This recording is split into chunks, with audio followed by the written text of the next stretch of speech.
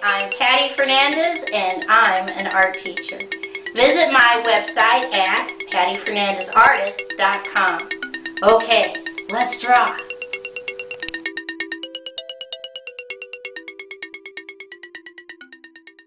Today's project is how to draw the California State dinosaur. Now I'm going to come up and spell this because I can't say it. It's A G U S T Y N O L O P H U S. I'll let you figure out how to say it. So starting over here on the right hand side, I take two fingers from the top and I put a dot. And from that dot, I'm going to draw a little straight line up, slightly curved line over, straight line down. Right where I stop here, I'm going to draw a big curved line out, up, and down, curved line in, and stop.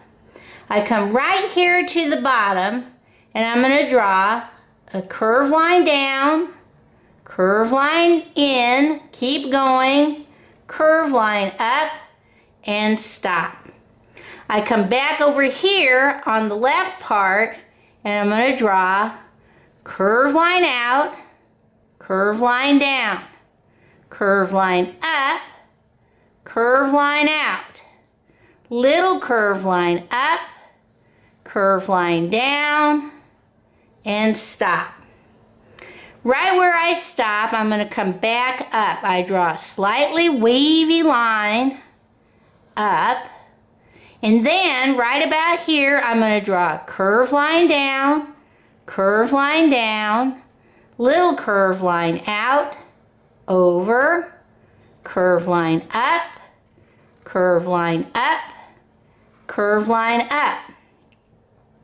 I come right about here and I'm just going to draw a curved line up and stop because right here I'm going to draw a slightly curved line down and then one, two, three curved lines, slightly curved line up, leave it floating. Now I come back up and I'm going to continue this out, up, and connect. I come back over here and we're going to draw curve line down, curve line, curve line over, curve line up, curve line up, curve line up, connect. And over on this side, we're going to draw slightly wavy line down, one, two, three, slightly wavy line up, connect. Come back over here on the bottom and we're going to go one, two, three curve lines.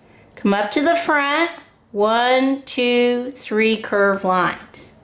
Come all the way over here on the right and we're going to draw one baby circle and we're going to draw a curved line inside.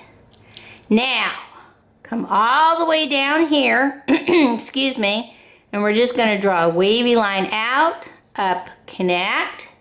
Right about here, let's draw a wavy line out, up, connect. One more, wavy line out, up, connect. Now come down here, we're going to draw a wavy line out, in, connect, and a little one, wavy line out, in, connect. Okay? All right. Let's see how we're going to color this in. Okay, when I saw this, I went, hmm, interesting. Because he's got legs that look like he stood up, and he's got little T Tyrannosaurus Rex arms, little arms. And the picture I saw, he his skin looked like leather. So the first color I used was yellow orange. And I'm just going to put a light yellow orange on the main body parts of my dinosaur. I'm going to skip these little insets Leave those alone, leave those white. Bring it all the way down. Here's the tail. Don't forget these big legs, okay?